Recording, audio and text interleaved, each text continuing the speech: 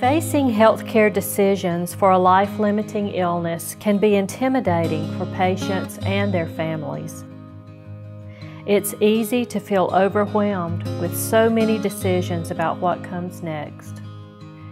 But here at Hospice of South Georgia, we understand your fears and we are here to help.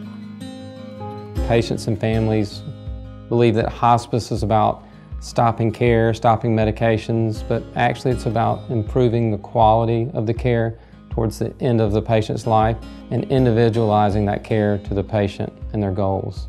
We advise patients and families to sign up earlier in their process where they can get the care and comfort that they need.